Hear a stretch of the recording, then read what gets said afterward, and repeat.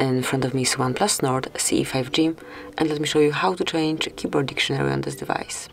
So at first just open any area where you can input some text. It can be for example messages.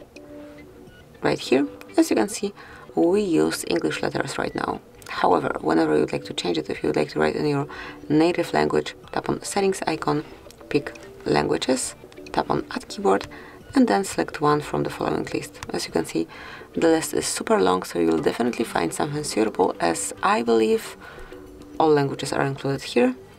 And let me pick, for example, Hebrew, tap on done. Then you can remove uh, unnecessary language. Let's go back. And as you can see, it has been already changed and now you can smoothly write in Hebrew. Then, if you would like to change it again, just perform the same action. So this is it, that would be all. Thank you for watching. Please subscribe our channel and leave the thumbs up.